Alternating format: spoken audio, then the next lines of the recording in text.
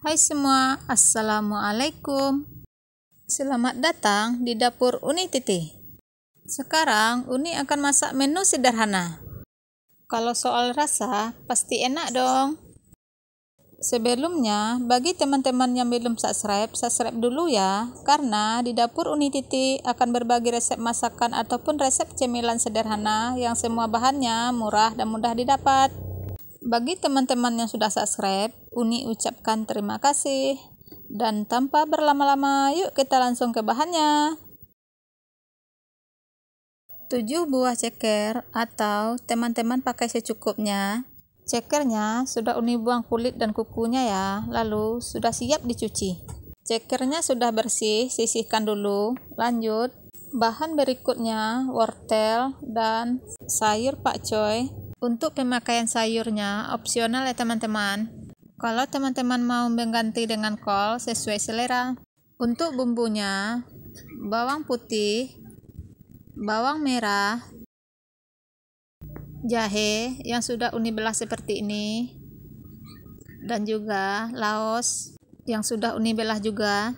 Atau teman-teman mau menggeprek jahe dan laosnya sesuai selera. Tambahkan juga 3 tangkai daun seledri dan 2 batang daun bawang. 3 lembar daun salam. Kalau teman-teman pakai yang besar, cukup 2 aja. Selanjutnya, bumbu komplit untuk sop. Ini uni beli yang sudah jadi ya. Komplit seperti ini. Bumbunya terdiri dari bunga lawang, kapulaga, kayu manis, cengkeh, dan lada. Untuk resep lengkapnya, lihat di kolom deskripsi ya teman-teman. Di sini bawang merah, bawang putih, dan daun bawang sudah uni iris ya. Lanjut, kita mulai memasak. Tahap pertama, panaskan sedikit minyak, lalu tumis terlebih dahulu bawang merahnya.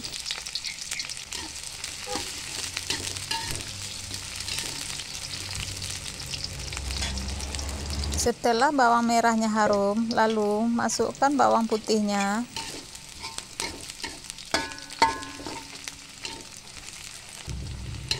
Kalau bawang merah dan bawang putihnya sudah harum, masukkan bumbu yang lainnya.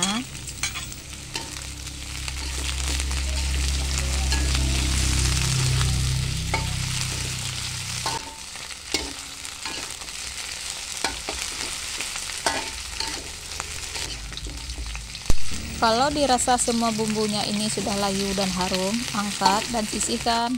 Kita lanjut ke tahap berikutnya. Rebus sebentar cekernya, jangan sampai matang ya, hanya sampai air mendidih saja. Setelah mendidih, buang airnya. Hal ini dimaksudkan untuk membuang sisa darah pada cekernya. Ini airnya sudah uni buang. Lanjut, kita masak kembali dengan mengasih air satu gayung atau sesuai selera. Supaya cepat mendidih, boleh ditutup. Setelah mendidih, lalu tambahkan bumbu yang sudah ditumis tadi. Tambahkan juga bumbu komplit untuk sop tadi. Ini plastiknya sudah uni tusuk pakai garpu ya. Lalu siap dicemplungin.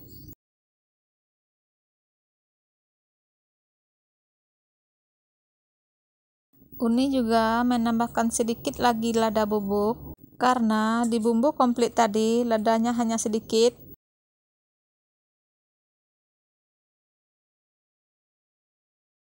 Tambahkan juga sedikit kaldu bubuk. Tak lupa juga sedikit pala bubuk.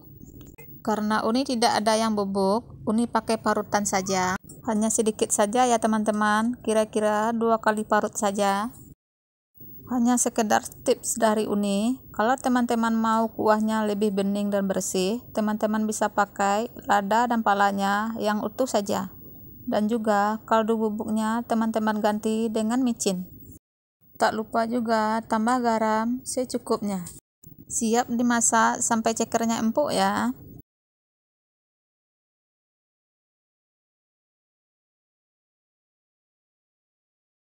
Setelah cekernya empuk, masukkan wortelnya.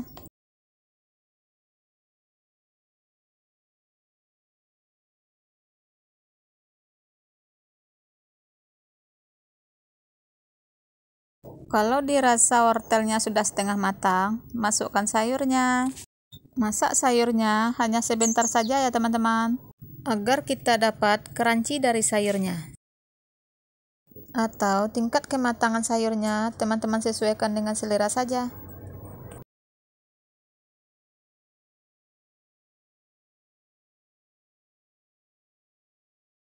Jangan lupa koreksi rasa ya teman-teman. Kalau kurang garam bisa ditambahkan. Kalau menurut Uni, ini sayurnya sudah pas, angkat, dan siap disajikan. Enak dimakan selagi hangat ya teman-teman. Ini dia masakan Uni hari ini ya, sop ceker dan sayurnya. Terima kasih sudah menonton video ini sampai selesai ya. Sampai jumpa di video ini selanjutnya. Kalau teman-teman suka dengan videonya, jangan lupa like, komen, dan subscribe-nya, dan juga di-share ke semua sosial media yang teman-teman punya. Dan nyalakan loncengnya agar teman-teman tidak ketinggalan video terbaru dari Uni. Terima kasih. Assalamualaikum.